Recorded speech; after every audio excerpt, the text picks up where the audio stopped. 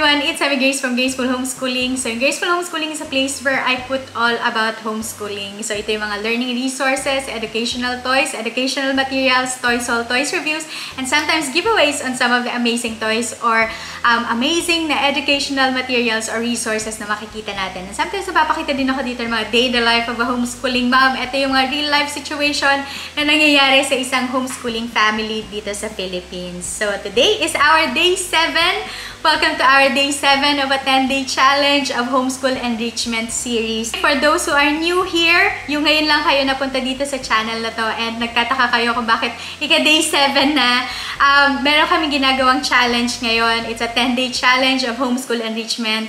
And pwede nyong balikan yung day 1 para lang maka-follow uh, along kayo sa ginagawa naming challenge. So, there, balik lang kayo sa day 1. Lahat ng mga videos ay nandun sa description box. So, ililink ko na lang. So now, we're in day 7. Grabe, ang bilis lang ng panahon, no? Parang matatapos na yung ating um, 10-day challenge. So, yan, ika-day 7 natin ngayon. And ngayon, ang pag-uusapan natin ay yung ikatlong S doon sa 4S na pinag-uusapan natin for the last 2 days. So, last time ay pinag-usapan natin or last 2 days ago, ang pinag-usapan natin ay subjects. Uh, tapos yesterday naman ay schedule or routine. So, ngayon yung ikatlong S Uh, which is, yung pag-uusapan natin ngayon ay space. So, yan. Ito yung isa sa topic na favorite kong pinag-uusapan pagdating sa homeschooling because uh, kung pina-follow nyo kami for the longest time, nakita nyo kung saan talaga kami nagsimula.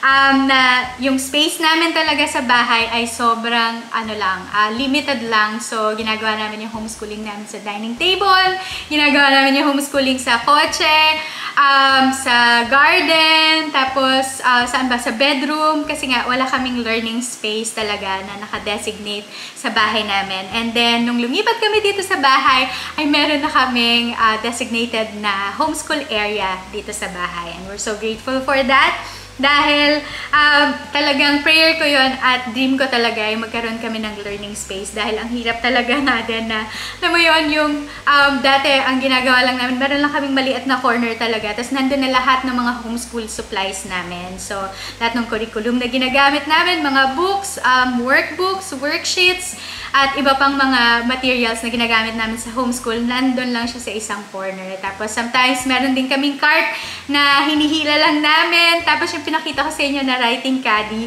um, yon sobrang uh, laking tulong nun sa amin because wala talaga kaming learning space noon. So, bakit ba kailangan natin pag-usapan yung space or learning space? It's because um, para lang magkaroon ng uh, clarity sa ating mga anak or sa mga bata na, okay, kung time for school na to, so ito na yung time na kailangan uh, we go on our learning space. So kahit ito ay nasa dining area, basta alam ng mga anak natin na school time na or homeschool day na, um, yon uh, upo na sila doon sa space nila. So, isa pang bagay kung bakit importante na meron tayong learning space ay para lang din uh, ma-instill natin or maturuan natin yung mga bata na i-respect din yung someone else's space. Because pag nandun na siya sa space niya or sa learning space niya, uh, matuturo na natin sa kanila na i-respect natin yung kanilang learning space. So, yun. So, matuturo natin yun na i-respeto yung someone else's um, space uh, kahit sa bahay to or kahit sa ibang lugar or kahit sa ibang tao. So, marerespect nila yung kanilang space. Okay, sa inyong mga manuals, meron ako dito mga binigay na some things or items na pwede nyong i-consider or you might consider in creating a personal space para sa inyong mga anak or para sa mga bata. So, uh, to, to just to create an active engagement. So, yun din. Importante din na meron talagang learning space yung mga bata para at least yung um, active engagement engagements ay makikreate natin. So, malilesen yung kanilang gadgets time, tapos yung mga active engagements ay madadagdagan dahil meron silang space or designated space sa ating mga bahay. Don't worry, hindi, niya kaila hindi nyo kailangan bumili ng mga desk, na kanya-kanya sila. Um, ang importante lang ay meron talaga silang space. Kahit maliit na corner lang yon sa bahay nyo um, yon So, pwede nyo nang i-create yung um, active engagements because meron silang maliit na space sa inyong mga bahay. So, meron ditong dalawa na binigay dito. So, na, itong um, isa na to ay ito yung um, study table. So, don't worry, hindi nyo kailangan, sa kagaya na sinabi ko kanina, hindi nyo kailangan bumili ng study table. Pero, ang importante lang, meron talaga silang table na pagsusulatan nila.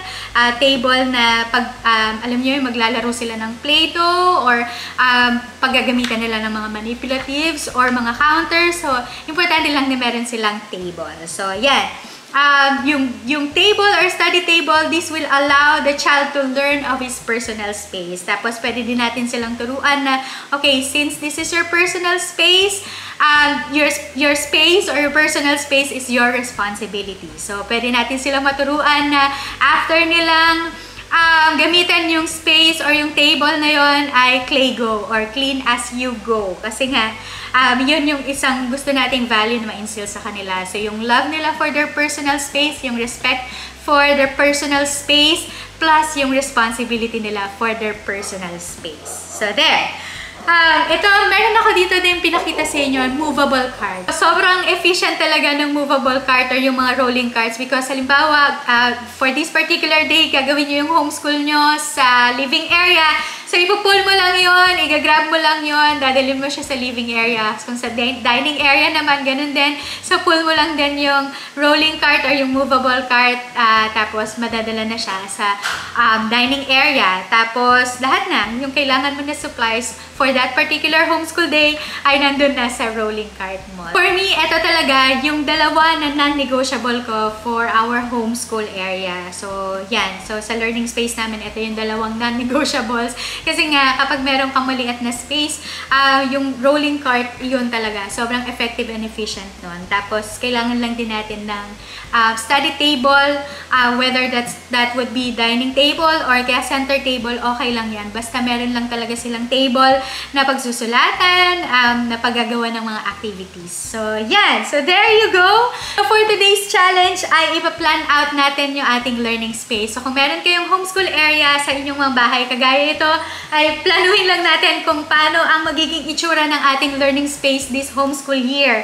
Now, kung meron kayong maliit na space sa bahay, ganun din, i-plan out nyo lang din saan ba natin ilalagay yung ating uh, rolling cart or kung ano ba yung meron kayo, kung meron na kayong shelf, asa natin lalagay yon uh, sa ating bahay. So, there you go. That's our challenge for today and this has been day 7 of our 10-day challenge of Homeschool Enrichment Series. So, meron pa tayong tatlong araw. Thank you for sticking around. So, I hope na makasama ko kayo hanggang day 10. So, thanks so much for joining me today. Please join the Graceful Homeschooling family. Click the subscribe button and turn on your notification bell on for more videos like this. And please give this video a big thumbs up as well. So, I will see you tomorrow for our day 8 of Homeschool Enrichment Series. Bye everyone!